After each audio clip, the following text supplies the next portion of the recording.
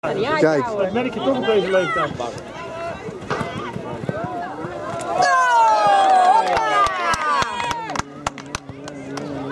Die was voor.